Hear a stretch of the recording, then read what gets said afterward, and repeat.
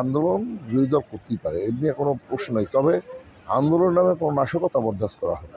এবং সেটাকে আমরা মোকাবেলা জনগণকে সাথে নিয়ে করব। বিগত দিনে আমরা করেছি, আগামীতেও আমরা জনগণকে সাথে নিয়ে সকল ধরনের নাশকতা, নৈরাজ্য, সন্ত্রাসকে আমরা মোকাবেলা করব। আর নির্বাচনে আসুন, নির্বাচনের মধ্য দিয়ে সরকার পরিবর্তন হয়।